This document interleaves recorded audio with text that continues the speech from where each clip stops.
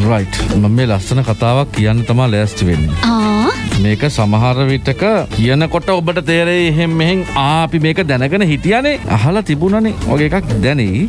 හැබැයි මේකේ සැබෑ කතාව ඇහුවට පස්සේ ඔබට පුදුම හිතෙයි අපි කොතනද ඉන්නේ කියලා. හරිද?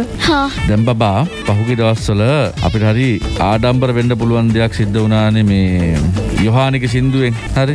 ඒක හරහා ජාත්‍යන්තරයේ සෑහෙන ප්‍රසාදයක් ලංකාවේ අලුත් පරම්පරාවේ ගායන ශිල්පීන් එනම් ශිල්පිනියන්ගේ මේ දක්ෂතාවයන් ටිකක් ගියා ලංකාව කියලා අපහු කතා කරන්න පටන් ගත්ත නැත්තරම් මේ මේ දැන් මේ- කොරෝනා ගැන කතා කරන්න අස්සනේ කොහොම හරි මොකද අමිතාබ් කවා සාංගිකට මුළු ලෝකෙම අවධානය ලැබුණා කිව්වොත් ඔන්න හරි නේද? අමිතාබ් බච්චන් එක ෂෙයා කරලා තිබ්බ පස්සේ ඒක සෑහෙන්න ගියා. ඔය කතන්දරයේදී දැන් ඔය යොහානි කියන්නේ බොහොම ලාබාල තරුණ ගායිකාවක්නේ පරම්පරාවේ. එතකොට යොහානි ඉන්නේ ලංකාවේ. ඔබ දන්නවද අපිට ආඩම්බර වෙන්න පුළුවන් තව කෙනෙක් ඉන්නවා. ඒ වගේම ගායන ශිල්පිනියක් එහෙම නැත්නම් ගායිකාවක් හරිම ලාබාලයි හරිද? අවුරුදු 22යි මේ වෙනකොට කොහෙද කොච්චරද කිව්වොත් අවුරුදු 22යි වයස.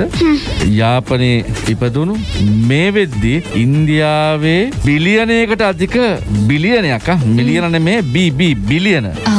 බිලියනයකට අධික රසික ප්‍රජාවකගේ හිත දිනාගත්තු කෙනෙක් ඉන්නවා කොත් එහෙම? ඔබට හිතාගන්න පුළුවන්ද ලංකාවේ කෙනෙක් ඉන්නවා කොත් එහෙම? අපි අපි පුංචි තැනක නෙවෙයි ඉන්නේ. අපි මේ අපි මේ මේ සමහරට අපිට වැහිච්ච පැත්තක් මේ අපිට. අපේ තියෙන මේ මේ මේ දක්ෂතා අපේ රටේ අපේ අයගේ තියෙන දක්ෂතා අපිට එළියට යවන්න තියෙන වැහුණු පැත්තක් මේ. දැන් මේ පොඩ්ඩක් පොඩ්ඩක් මේ ආපහු අපි හැරලා බලපුවාම තේරෙන්නේ. හරි? ඒ වෙන කවුරුත් මේ මේ කියන කතාවේ කතානායිකාව ඇවිල්ලා මෙහෙම කිව්වොත් එහෙම. මෙන්න මේක පොඩ්ඩක් අහලා බලන්නකෝ කුක්කෝ තංගච්චි ඉන්නේ නා.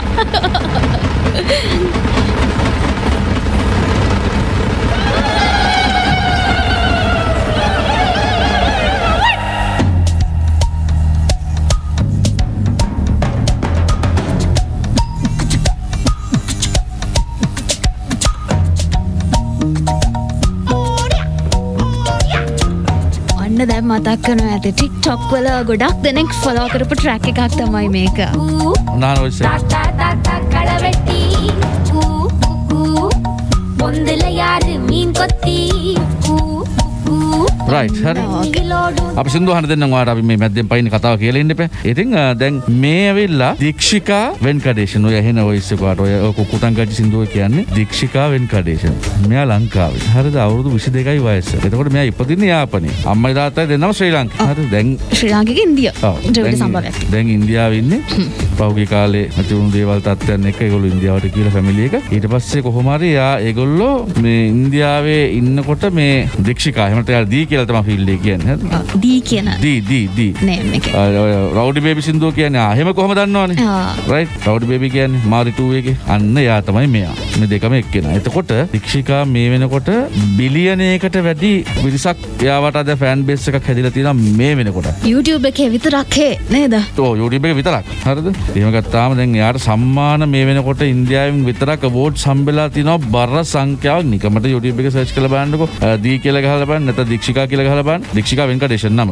හරිද? ආඩම්බර නැද්ද නං අන්න කියනවා සින්දුවක් කියලා බලන් ඉන්න පොඩ්ඩක් මොකක් හරි එළියට දාන්නකො මොකක් හරි එකක් කොහොම පොඩ්ඩක් ජාත්‍යන්තරයට යන්නකො නංගි පොඩ්ඩක්. නේද? ඈ? නිකන් මේ මොකක්ද අර පිට්ටු බම්බෝ තිබ්බාගේ ඉඳන් ඉන්න නැතුව මොකක් හරි. ආ. මෙලෝ වැඩක් නෑනේ අපිට වැඩකුත් නෑ ගෙදරට වැඩකුත් නෑ කියලා. බලන්න මේ ළමයි අවුරුදු අපේ වැඩේ තියෙන ලෝකෙටම අවුරුදු 22යිනේ මේ ළමයි බලන්න අවුරුදු 22කට ලෝකයල්ලා ඉවරයිනේ. ඈ ඔයාගේ මම ඇල්ලුවේ 17න්. නෑ 17න් ඇල්ලුවේ. ලෝකයම ඇල්ලුවා ඉතින්. ලෝකෙම ආයේ. ඇල්ලුවා. ගෙදරට මට අපේ. ගමේ ගමේ මිනිස්සුත් කියන්නේ ලෝකයක් ඕක කියලා. ලෝකය කියලා කියන්න දකින්න.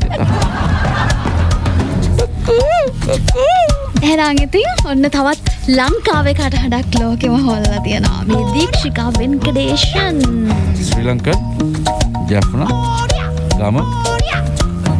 අපේ කෙල්ලෙක්. ලෝකම දැන් දන්නවා ඉතින් මෙයා ජය වජය වජය